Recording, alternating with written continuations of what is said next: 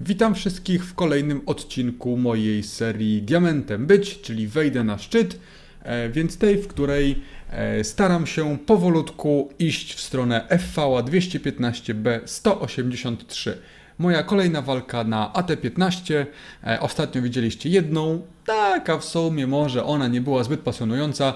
O tyle była fajna, że po prostu spodobało mi się w niej to, że wykorzystałem fakt, że po prostu tam przeciwnicy jakby ułatwili mi robotę, bo sami sobie podjeżdżali.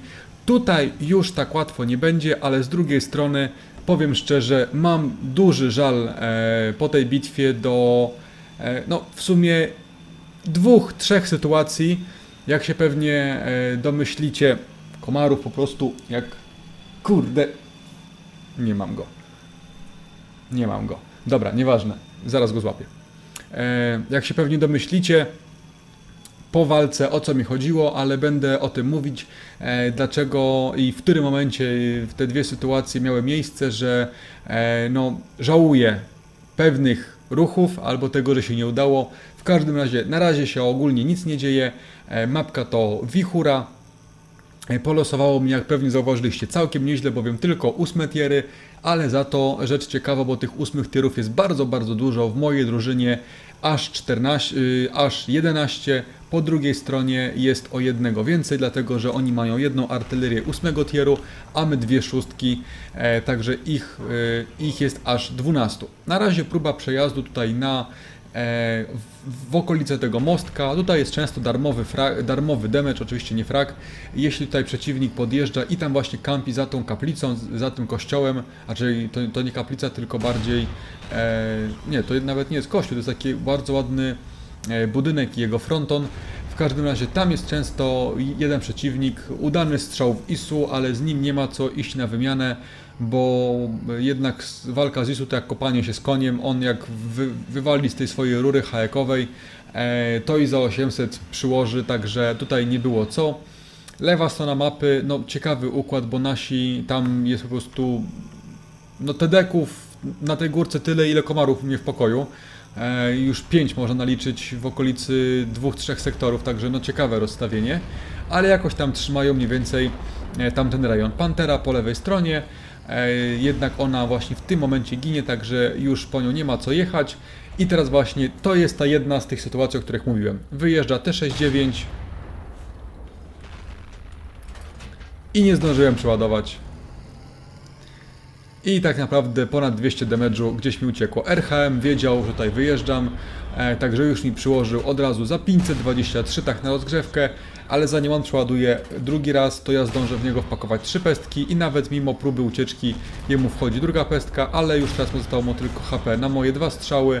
Tam ktoś obok chyba ISU nie trafił, e, także 1100 punktów uszkodzeń zrobione i teraz nagle wyjeżdża z tyłu typ 59, e, który chciał mnie objechać, ale mu się nie udało zdingował od włazu i jakoś tam weszło mu e, po przedniej płycie dość mocno skontowanej e, udało się przebić. No mówię, w tego T69 bardzo, bardzo żałuję, bowiem tutaj no zabrakło raz, że milimetrów, a jednak te 200 damage'u okazuje się na koniec mogłoby zmienić sposób radykalny ten wynik, ale to i tak nie jest najgorsza sytuacja, która będzie mieć miejsce w tej bitwie. O następnej przekonacie się za chwilę. Na szczęście typ 59 niszczy ISU, e, RHM niszczy drugie ISU, także nie jest źle. I tutaj jest SU-100 oraz Super Pershing. Pierwsza próba strzałów Super Pershinga przez murek nieudana. E, tam, był, tam był tylko ding, nie udało się również go zgąskować, także kolejny potencjalny damage, ewentualnie punkty expa niestety mi u, po prostu uciekły sprzed nosa. No więc y, w takim razie trzeba teraz trochę podjechać do przodu, jeśli e, góra nie do Mojżesza, no to Mojżesz do góry albo odwrotnie. Jako, że Pershing nie ma ochoty e, postrzelać się ze mną, no to ja muszę pojechać do niego. E, tutaj się biją typ 59 z, ze, ze SU-100. SU-100 jest całkiem szybkie. Wyjeżdża LC, dostał powierzy 244, próbuje uciekać. E, Nieudany niestety strzał w ruchu, nie wiem jak to tam się odbiło i co i w co trafiło, ale zanim się schował, no to jeszcze zobaczcie, już się schował za rogiem, ale tylko wrak za róg pojechał, e, sam czołg. Jeszcze póki żył, to był minimalnie wyświecony Super Pershing Su, Su trafione, Super Pershing niestety się zdążył schować, także niestety zobaczcie, no tutaj jakby ciągle brakuje, ciągle jestem na takim drobnym, e, drobnym niedoczasie tutaj, no dosłownie sekunda, dwie wcześniej e, i by się udało, i bym miał e, super persza jeszcze do stuknięcia i to su tak by szybko nie uciekło. No ogólnie to jest tak, że ciągle jakoś jestem po prostu o ułamek sekundy, wręcz bym powiedział za późno. Su jest, Su 100 jest małe, szybkie, zwinne, także już zdążyło dać nogę. Pershing jest z kolei na wykończeniu, e, objechał teraz e, nasze ISU czy tam SU, także teraz pierwszy strzał dostał, e, zabija naszego ISU 152, ale się zakałapłućkał, i tutaj próbuje uciekać e, w budynki, nie patrzy na mnie i dostał od razu hita, e, także kolejny damage się udało i na szczęście typ 59 broni mi pleców, bo SU-100 na pewno by tutaj e, udało się objechać, raczej SU-100 udałoby się mnie objechać, E, także tutaj dobrze, że była ta osłona na plecach. No i teraz zobaczcie, typ e, T69 e, niestety na 89 punktów zdrowia. Gdyby on no, dostał choć ten jeden, jedyny strzał, to miałbym 200 punktów uszkodzeń więcej. Nie dobiłby naszego LCK, to oczywiście jest mała strata, ale mimo wszystko punktów uszkodzeń byłoby więcej. Pierwszy strzał z magazynka mu zdingował. Mm, tutaj nie było mowy o błędzie, także 89 tylko i już 2825 punktów uszkodzeń.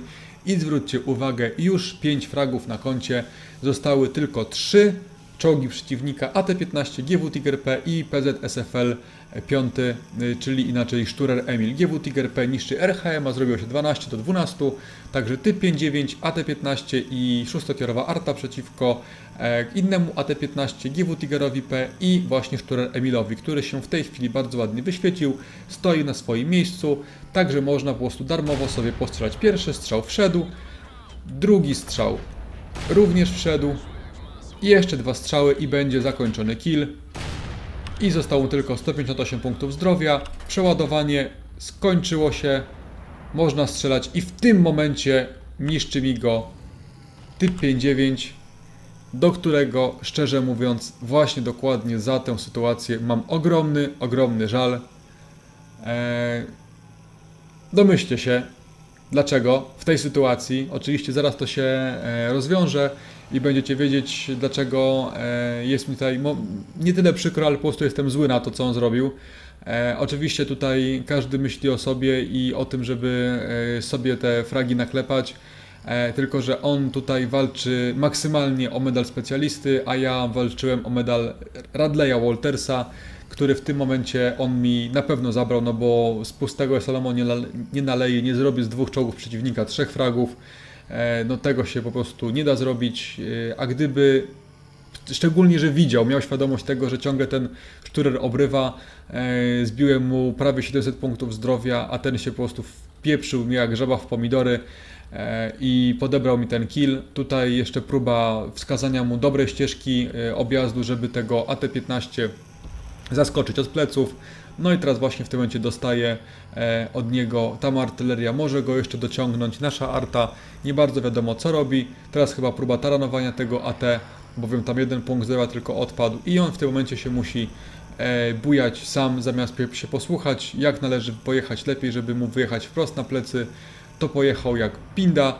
Teraz mu się udało. E, AT-15 pokazuje plecy dzięki czemu y, można mu ten damage dokończyć. No i teraz GW Tiger wyjeżdża na husarza, pierwszy strzał wszedł, e, jeszcze tutaj on pokazuje boczek i drugi strzał również wszedł.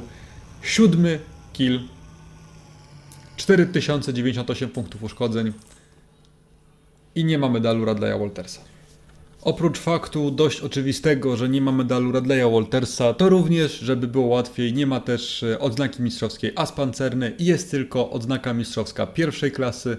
Także szczerze mówiąc, cała ta bitwa to jest dla mnie jeden wielki powód do e, żalu. Nieudane przynajmniej dwa strzały, nieudany ostatni strzał, po prostu tam ułamki sekund by decydowały o tym, żeby się udało tego Szturer Emila dobić. Nie udało się, do, za to jednak mam duży kaliber, specjalista, medale dość oczywiste w takiej sytuacji, ale mimo wszystko niesmak można powiedzieć pozostaje. E, ten typ zrobił 18, 18, czyli 1818 punktów uszkodzeń.